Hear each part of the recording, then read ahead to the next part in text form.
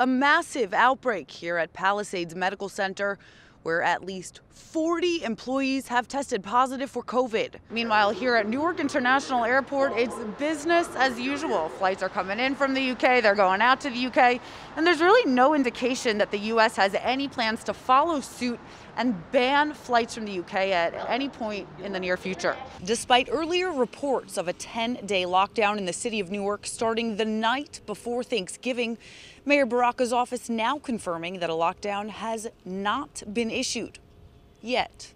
President Trump and the First Lady testing positive for the coronavirus the same day they arrived right here in Bedminster for a campaign fundraiser.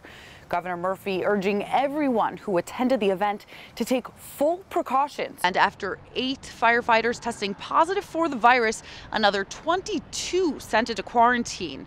Now, the department usually operates with 24 firefighters on a 24 hour shift. They're now down to 18 firefighters, which is the minimum requirement. A new bill that passed in both the New Jersey Senate and the Assembly would require that all uniformed patrol officers across the state wear a body cam while on duty. This is an animatronic megalodon. At 55 feet long, this is the actual size of a megalodon, which at one point in time was the largest predator in the ocean.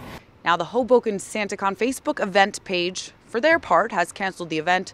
But let's be honest, there are no real laws preventing someone from dressing up as Santa and going to the bars. Four teachers here at Dumont High School have been suspended for having a homophobic conversation about another teacher on a Zoom call with students. Let's give Lisa a round of applause.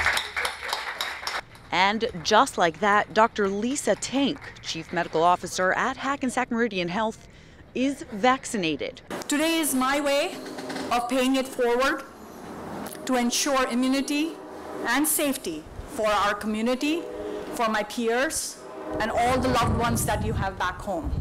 She's one of 170 healthcare heroes at Hackensack Meridian Health to be vaccinated on Tuesday.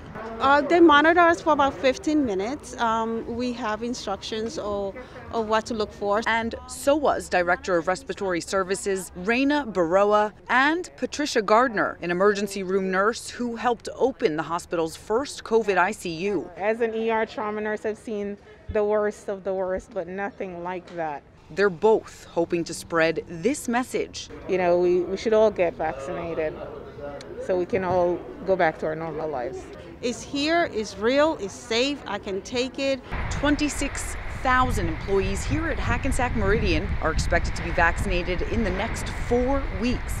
The state hoping to vaccinate 70% of the population within the next six months. At this rate, we will have herd immunity, and the darkest days of this pandemic will be behind us. In Hackensack, Emily Young, New Jersey News Network.